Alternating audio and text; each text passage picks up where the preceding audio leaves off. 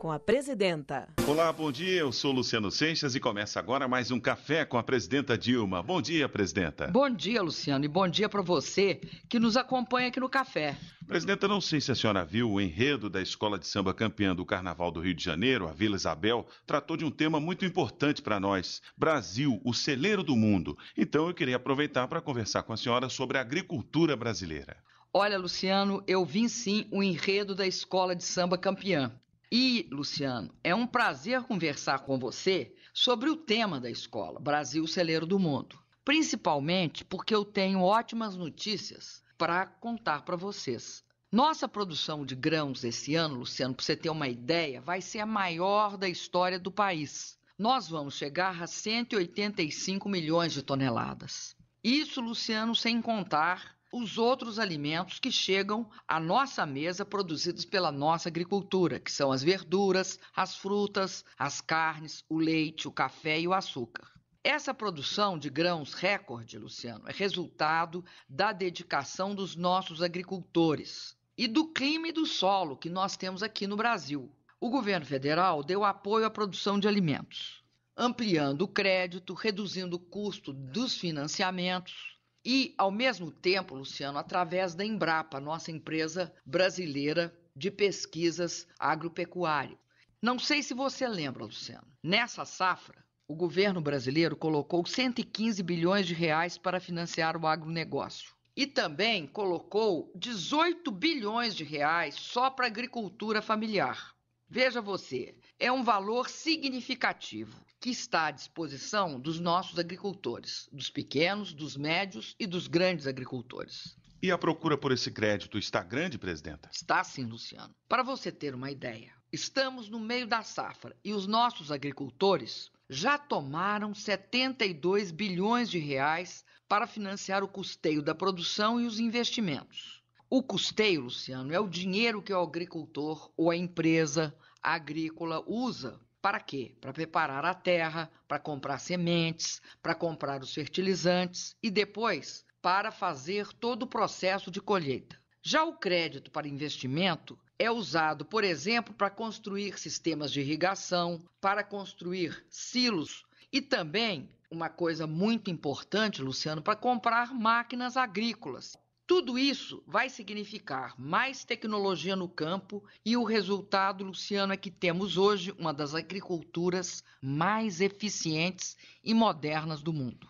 A cada ano, os nossos agricultores têm procurado mais e mais crédito para modernizar a produção e para melhorar as condições do trabalho no campo. São, por exemplo, as colheitadeiras, os tratores, as carretas e os pivôs de irrigação. Sabe, Luciano, eu estive do show rural organizado pela Copavel lá em Cascavel. Essa feira, Luciano, ela é justamente uma feira para mostrar toda a produção de máquinas, equipamentos agrícolas, de várias tecnologias para o produtor. São eventos como esse, Luciano, que mostra a força da nossa agricultura. Só nesta safra, que ainda está pela metade, o agronegócio já tomou emprestado 13 bilhões e meio de reais para a modernização das suas propriedades. Veja só, apenas os empréstimos do BNDES para a compra de equipamentos agrícolas cresceram 24% em relação à safra passada. Presidente, me diga uma coisa: os agricultores familiares também têm acesso a esse crédito do governo?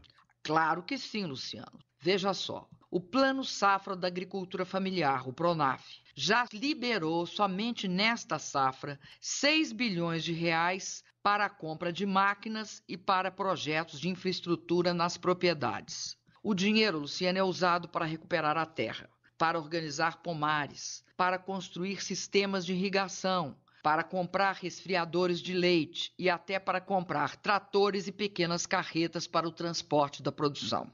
Inclusive, Luciano, recentemente eu visitei uma cooperativa de produtores de leite lá no Paraná, em Arapongas. E fiquei muito impressionada com a qualidade técnica e todo o cuidado que é empregado na produção do leite e na sua distribuição. Os agricultores familiares, Luciano, contam também com ações do governo federal que são estratégicas como o Programa de Aquisição de Alimentos, o chamado PAA, para garantir a compra de sua produção. Além disso, 30%, Luciano, dos recursos que são usados para garantir a merenda escolar no Brasil inteiro podem ser usados pelas prefeituras para comprar diretamente da agricultura familiar os produtos para a merenda escolar.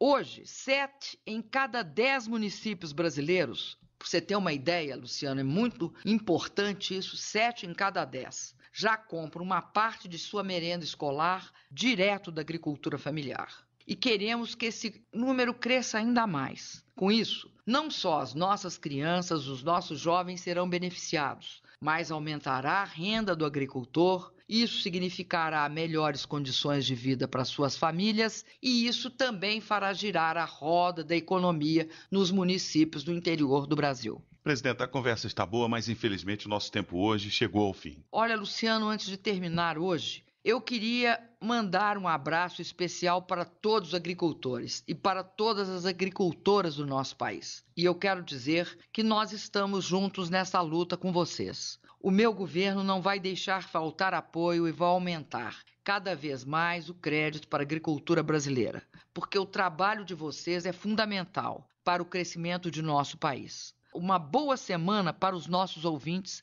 para os nossos agricultores e para você, Luciano. Obrigado, presidenta. Você que nos ouve pode acessar o Café com a Presidenta na internet. O endereço é www.café.ebc.com.br. Nós voltamos na próxima segunda-feira. Até lá!